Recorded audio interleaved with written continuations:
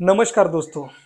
आज के इस वीडियो में हम बात करने वाले हैं टाटा के इस हेवी ट्रक के बारे में। एल पी टी बयालीस पच्चीस सी के बारे में। काउल कैबिन के साथ आता है ये। और आपके लिए बहुत ज़्यादा ज़रूरी वीडियो है, अगर आप इसे परचेस करने वाले हैं तो। क्योंकि माइलेज टॉर्क और प्राइस ये बहुत बड़ा कैलकुलेशन होता है हमारे लिए, अगर हमें ये परचेस करना है तो।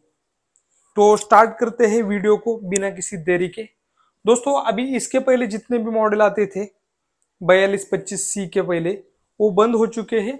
ये बी एस सिक्स फेस्ट वाला न्यू वेरिएंट है।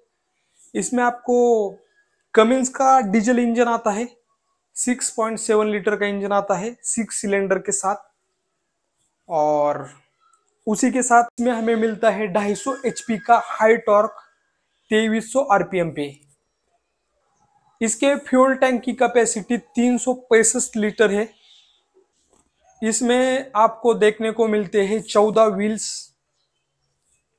उसी के साथ इसमें हमें मिलता है 950 न्यूटन मीटर का हाई टॉर्क, वो भी 1000 से 1800 आरपीएम तक। अब बात करते हैं दोस्तों इसके प्राइस और माइलेज के बारे में। तो इसकी एक शोरूम प्राइस है चौवालीस लाख रुपए। और फिर माइलेज की बात करेंगे तो तीन से साढ़े तीन और चार। तीन से चार तक का माइलेज है, लेकिन कभी कभी हमने ऐसा भी सुना है कि ये माइलेज के बारे में तीन से भी नीचे जाता है। यही देखना है कि आप चौवालीस, पैंतालीस लाख रुपए इसको लगा रहे हैं। तो उस हिसाब से आपको 950 का न्यूटन मीटर टॉर्क मिलता है।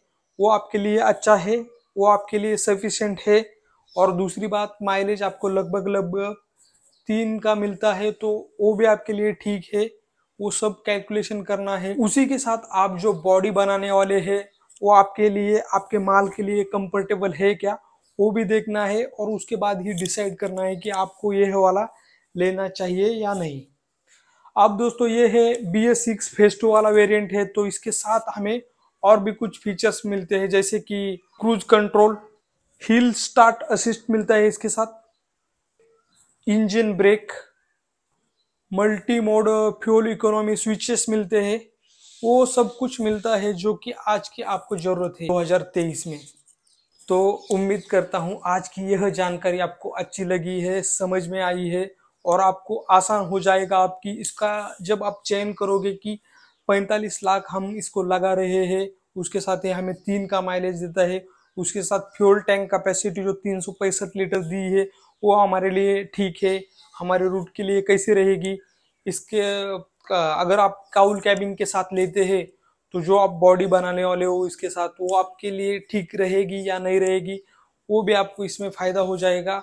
और वो सब कुछ कैलकुलेशन करके अदर जो भी इससे रिलेटेड व्हीकल्स है, उसको कंपेयर करके मुझे लगता है आपको यह डिसीज़न लेना चाहिए। इतनी बड़ी अमाउंट आप लगा रहे हैं तो मुझे लगता है यही आपके लिए बेटर रहेगा कि आप सारे व्हीकल्स को कंपेयर करें कैलकुलेशन करें और जो आपके लिए बेस्ट रिज़ल्ट देगा, वही को आप परचेस करें। बहुत ही जल्द मिलते हैं ऐसे ही किसी नेक्स्ट वीडियो में।